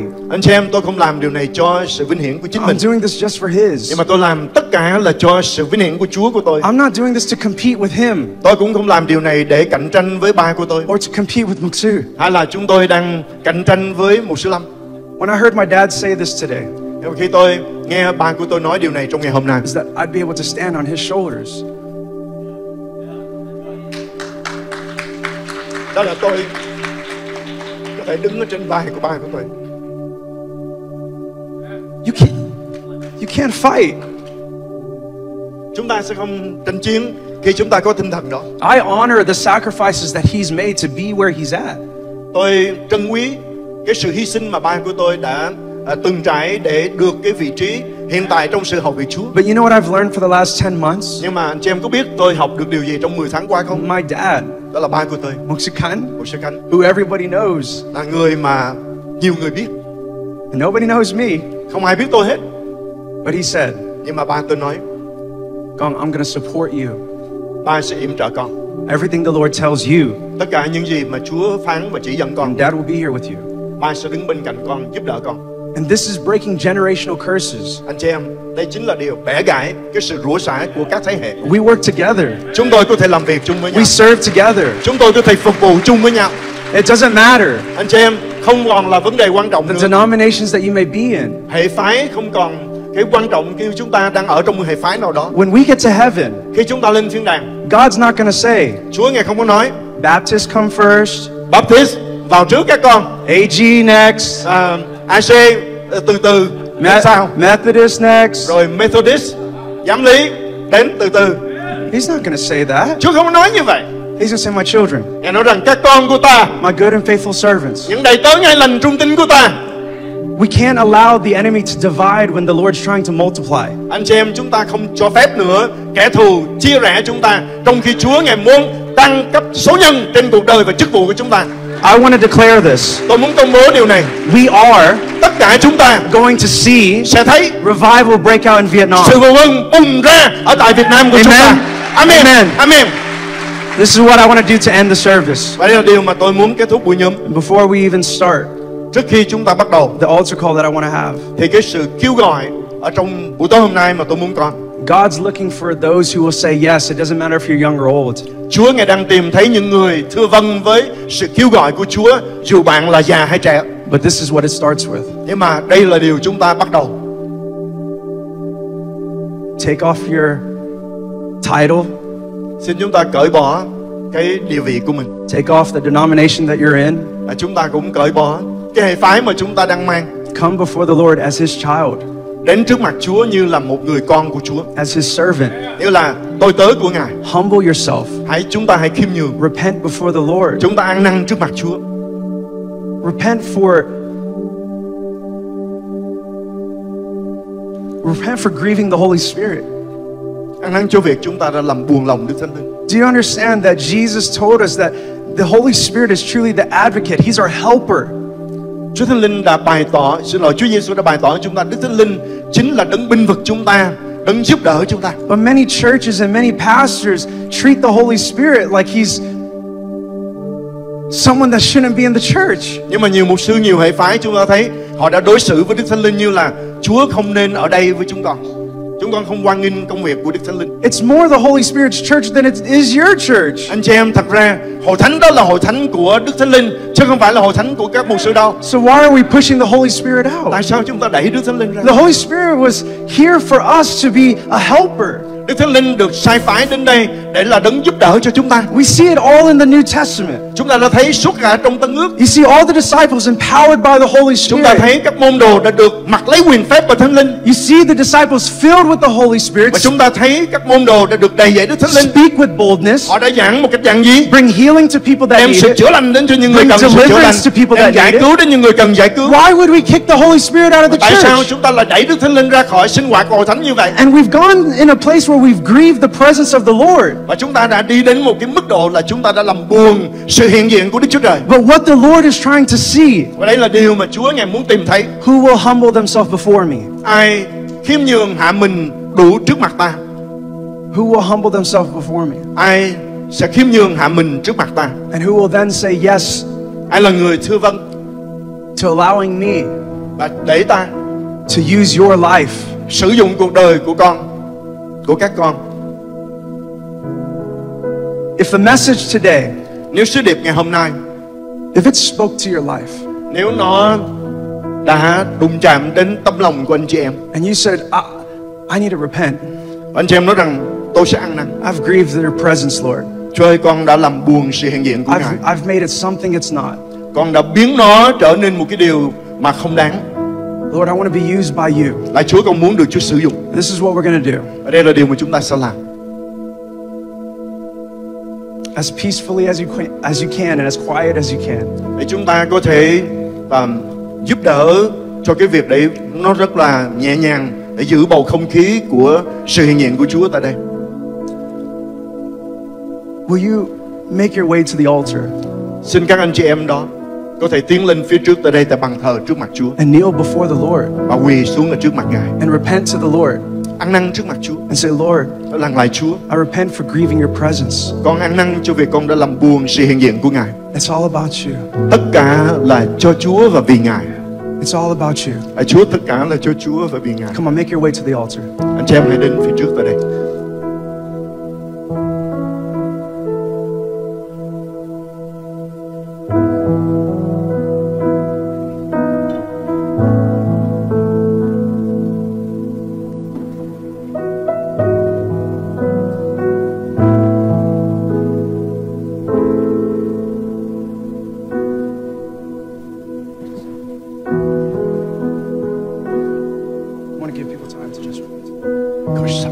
Make your way to the front. Trong lúc anh chị em tiến lên, It's all about you, Jesus.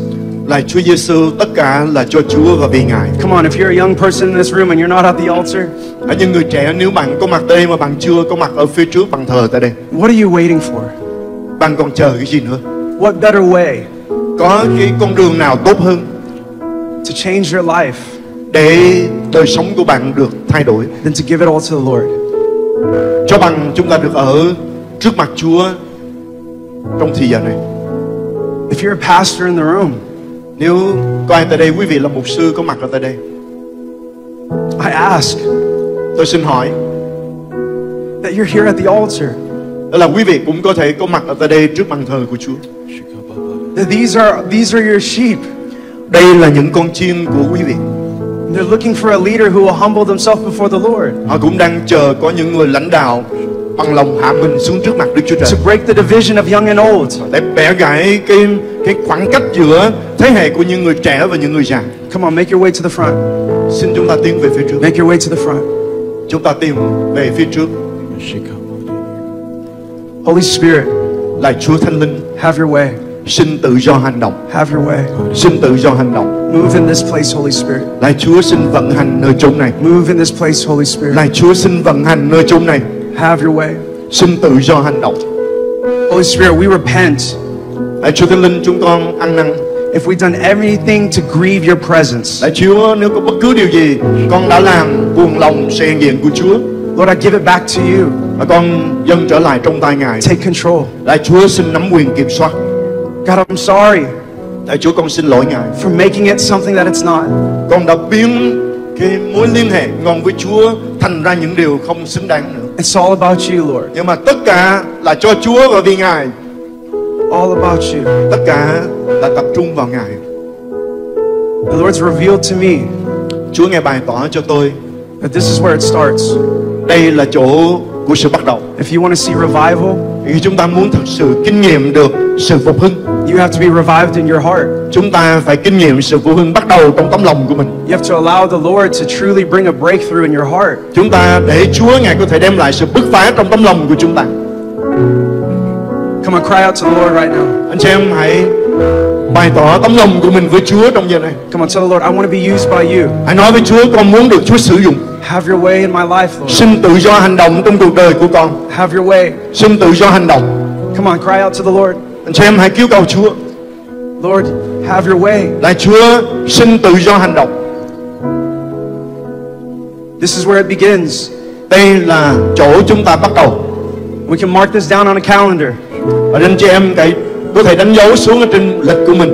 We're going to see revival take place in Vietnam. Chúng ta sẽ thấy sự phục hưng xảy ra tại Việt Nam When we together khi chúng ta cùng nhau can humble ourselves before the Lord, hạ mình trước mặt Chúa, united together as one body, hiệp một như một thân thể and say, Lord, have your way. và chúng ta nói rằng là Chúa xin tự do hành động. I say yes. Là Chúa con thưa vâng với Ngài, I say yes to your presence. con thưa vâng với sự hiện diện của Ngài. I say yes to you, Lord. Con đáp ứng lại với chính mình Chúa. Use my life. Xin sử dụng đời sống con, Use my life. xin sử dụng đời sống con. I want to be used by you, Lord. Con muốn được Chúa sử dụng. Transform me right now. Là Chúa xin biến đổi con. Holy Spirit's about to move in a powerful way. Đức Thánh Linh chuẩn bị vận hành trong một cách đầy quyền năng của Ngài ở tại đây. The, these are the hungry ones. Ngài đang tìm những con người khao khát. These are the hungry ones. Đây là những người khao khát. These are the hungry ones. Đây là những người khao khát. That it doesn't matter about what other people think. Đừng để ý đến những người khác nghĩ gì về chúng ta. It doesn't matter about the title. Cũng không phải là cái à, danh nghĩa, danh phận ở trong đời sống. It doesn't matter about the age. Cũng không phải là tuổi tác. All that it matters is you, Lord. À, tất cả những gì quan trọng ở tại đây All là that it matters is you. Tất cả quan trọng All that matters is you, và Lord. trọng tâm của chúng con giờ này là chính Chúa. All that matters is you, Lord. Ô là Chúa tất cả là cho Ngài và vì Ngài. It's just you, Lord. Chỉ mình Chúa mà thôi. I want the worship team to, to lead us in this song. Tôi mời ban hát dẫn sẽ hướng dẫn chúng ta trong bài hát này. And this is what I ask from all the pastors that are going to help pray. Và đây là điều mà tôi xin kêu gọi và các mục sư giúp đỡ cho chúng tôi trong lúc cầu nguyện. No other agenda, Không có một cái kế hoạch chương trình nào khác but just walk by everybody. mà chúng ta đi ngang các con gái của Chúa, You're just going to lay your hands on them. đặt tay trên các con gái của Chúa. You just say one word Xin nói một điều, một lời, breakthrough. bứt phá. That's it. Chỉ chừng đó, Breakthrough. bứt phá. Come on, praise you. Chúa thần linh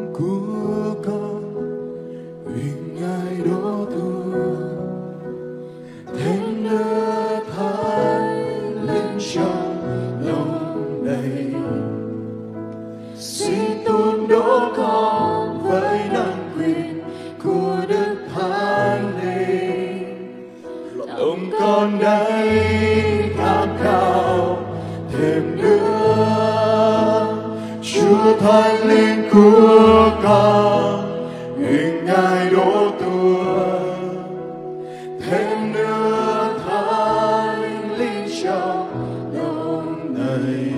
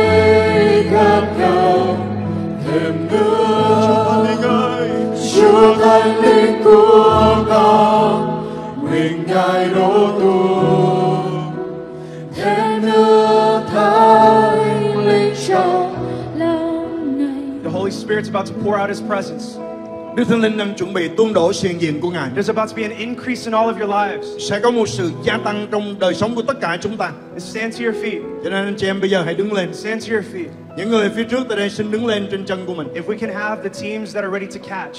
Và xin à, những người sẵn sàng để đỡ người. If you're standing in the altar, Có thể các bạn có thể đứng ở phía trước tại đây. I want you to say this to the Lord. Và tôi muốn kêu gọi các bạn thưa với Chúa điều này. Have your way in my life. Lạy Chúa xin tự do hành động trên cuộc đời của con. Have your way in my life. Lạy Chúa xin tự do hành động trong cuộc Have đời your của way in con. my life. Được tự do hành động trong cuộc Have đời của way. con. Xin Chúa tự do hành Have your động. way. Xin Chúa tự do hành động. Have your way. Xin Chúa tự do hành động. Empower me, Lord. Lạy Chúa mặc lấy quyền phép của Ngài trên con. Use my life. Sử dụng đời sống con. Empower me, Lord. Lạy Chúa xin ban quyền năng trên con. Use my life. Sử dụng đời sống con. Holy Spirit, Lạy Chúa Thánh Linh fill me up. xin đông đầy đời sống con. Fill me up, Lord. Xin đông đầy đời sống con. Fill me up, Lord. Xin đông đầy đời sống con. Touch it. Fill. Fill. There, fill.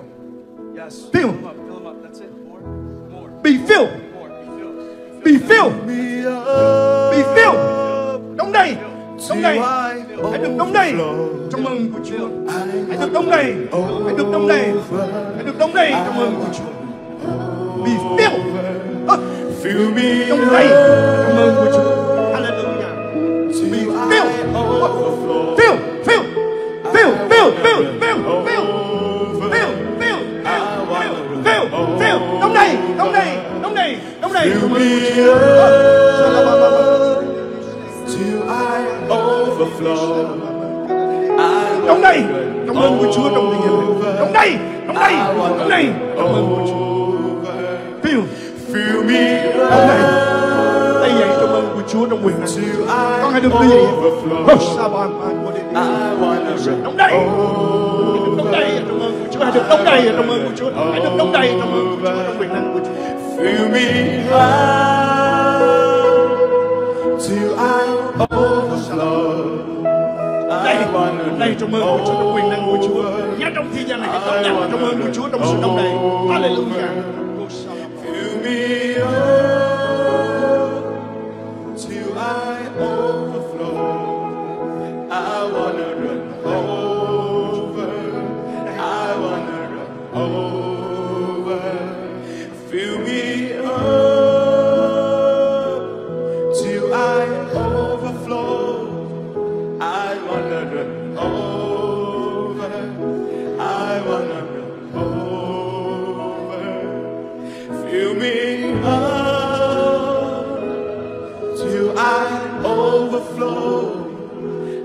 I wanna over.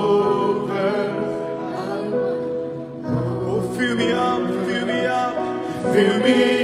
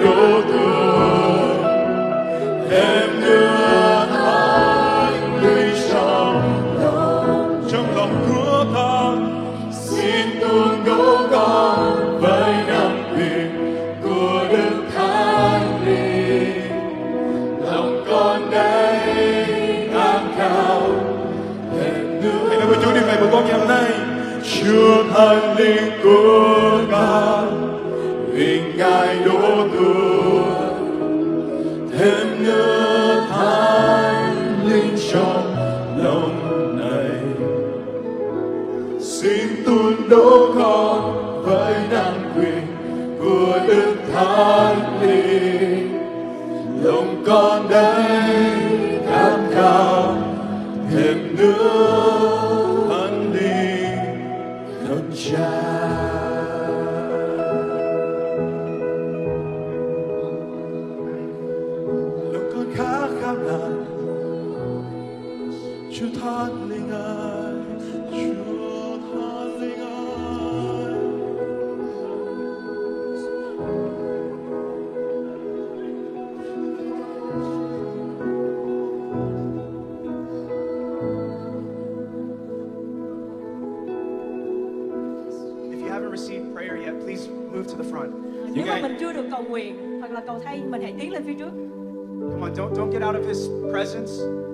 từng bước ra khỏi sự hiện diện của Chúa. And so Lord, I want more of you.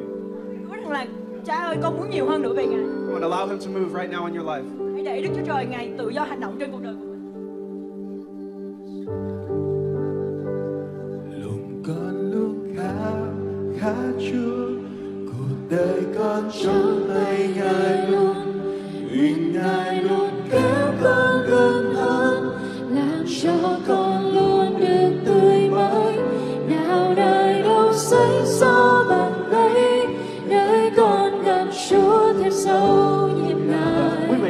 cầu nguyện rồi chúng ta có thể lui ra phía sau để cho những người chưa được cầu nguyện họ tiến lên xin cảm ơn. Dạ, quý vị nào đã được cầu nguyện rồi chúng ta vui lòng lui vào phía, về phía sau để cho những người chưa được cầu nguyện họ sẽ tiến lên. Để được cầu nguyện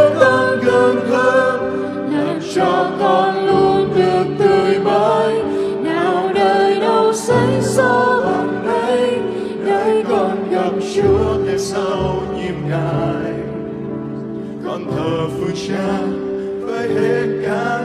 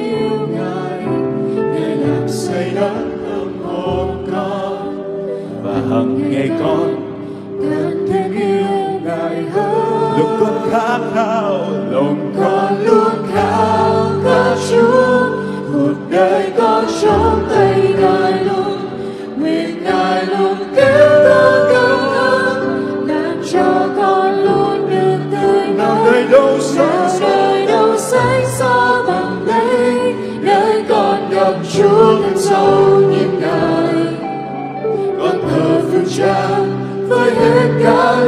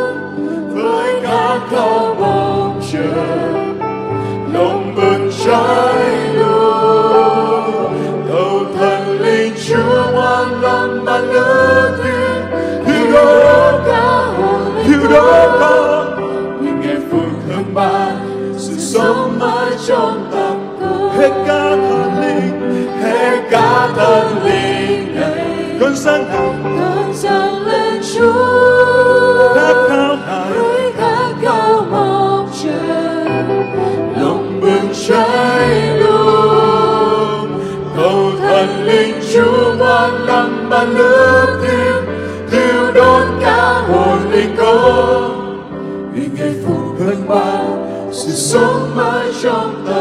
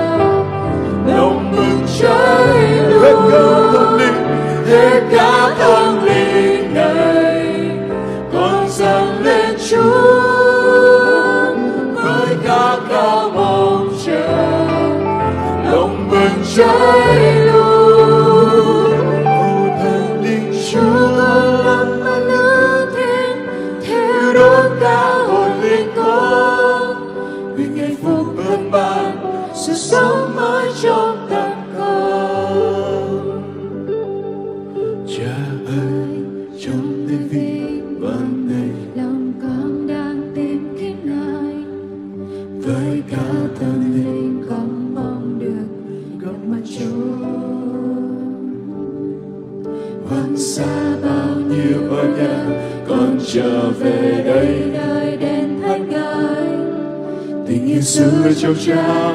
Để con mong được tươi mới. Lòng thành dân chúa. lời tôn vinh danh hát ngài. Lòng ngài từ đây cho cuộc đời này được mãi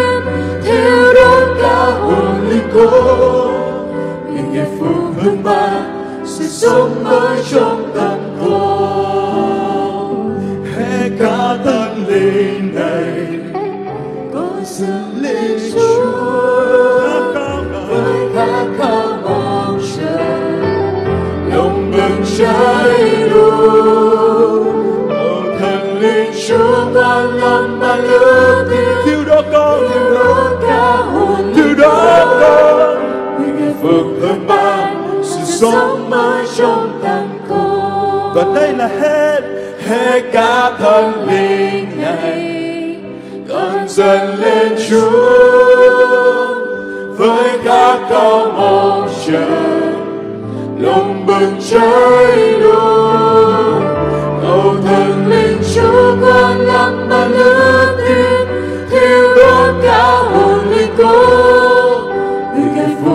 ban sự sống mới cho tang cô linh này cầu thần linh chúa con làm ban lửa thiêng thiêu đốt cả hồn linh con người kẻ phụ nhân ban sự ở trong ta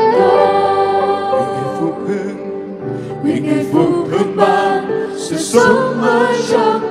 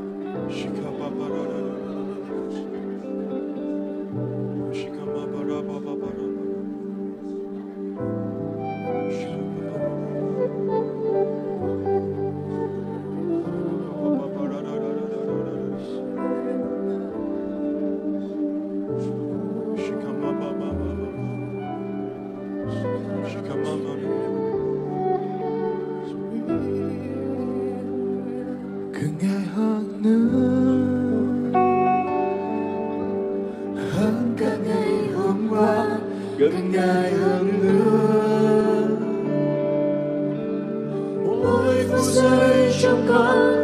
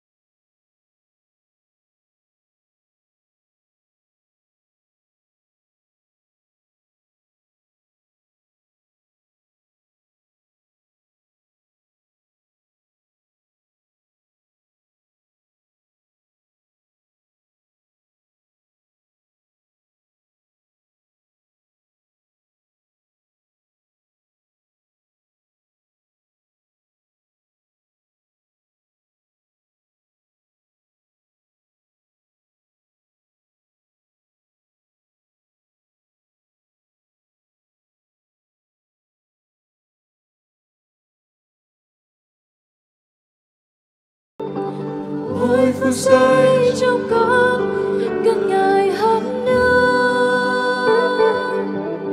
hơn mỗi điều con có cần ngày hơn nữa cần trời nhiều hơn. Quý thính giả xem nhớ đăng ký kênh, nhấn rung chuông và chia sẻ video được lan rộng trên mạng cộng đồng. Xin Thánh Linh động chạm anh chị em được biến đổi mỗi ngày càng giống Chúa hơn. Hẹn anh chị em video tiếp theo. Chúa yêu hết thảy anh chị em.